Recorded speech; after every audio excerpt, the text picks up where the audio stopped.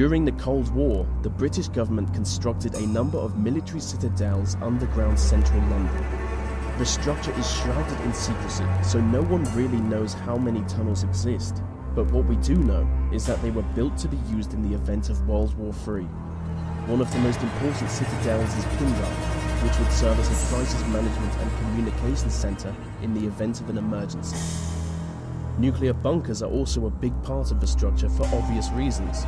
Only one citadel is open to the public, the Cabinet War Room, which was used as Winston Churchill's personal hangout during the war. Any attempt to explore the other tunnels could see you arrested, or maybe even killed.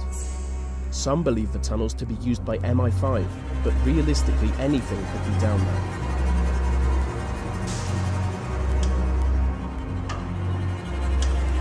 Swiss Fort Knox is a high security data center located underneath a mountain in the Swiss Alps.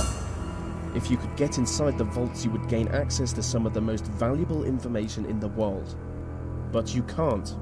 The individual data centers are guarded by bulletproof plastics and blast-proof vault doors. The same vault doors used in Swiss banks, which make full use of facial recognition technology. Over the past 15 years, exclusive security technology has been developed for this site alone. What's more is that the center is hidden deep within a Cold War nuclear bunker.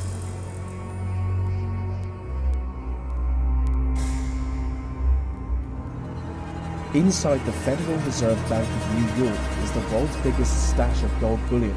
Deep below the streets of Manhattan is the famously impenetrable vault that contains an estimated 25% of the world's gold, which has a value of over $200 billion. The vault is protected by a 140 ton steel and concrete frame, making it both airtight and watertight. The site is reportedly guarded by both armed police and a team of robots. So, just to recap, it's an underground vault full of gold guarded by robots. And that is the greatest thing I've ever described.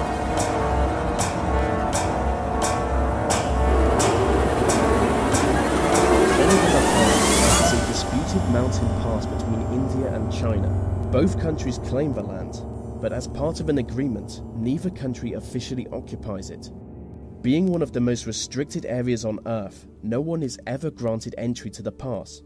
But local people on both the Indian and Chinese sides of the border regularly report UFO sightings coming from the area.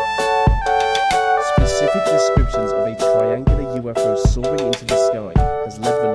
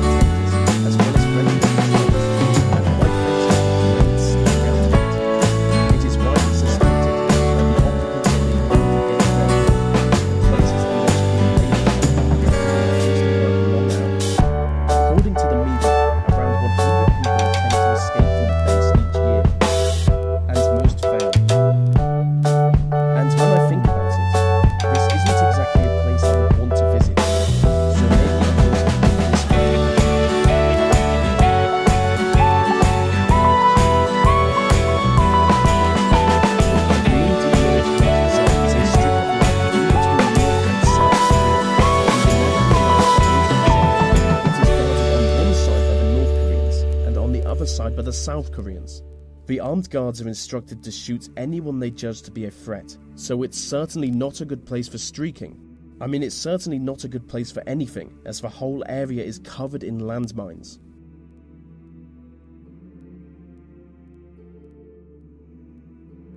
Varosha is a ghost town in northern Cyprus. It is the most secret site in the Mediterranean. With miles of abandoned beaches and corroding deserted hotels, the site is completely devoid of human life.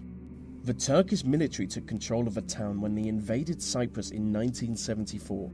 Ever since then, entry to the town has been prohibited. I do want to visit Varosha because I really go for the post apocalyptic nightmare look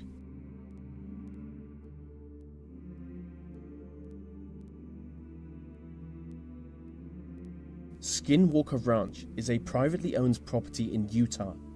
It is supposedly the site of both paranormal activity and alien encounters. Hundreds of people have reported sightings of UFOs, crop circles, Bigfoot like creatures, glowing orbs in the air, and ghostly visions of dead people all coming from Skinwalker Ranch.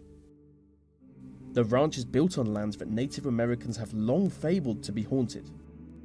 The property is owned by Robert Bigelow, a multi-millionaire who only allows a small number of people to ever enter the site. He is an aerospace entrepreneur, and people claim that he only purchased the site with the specific aim of studying the mysterious happenings.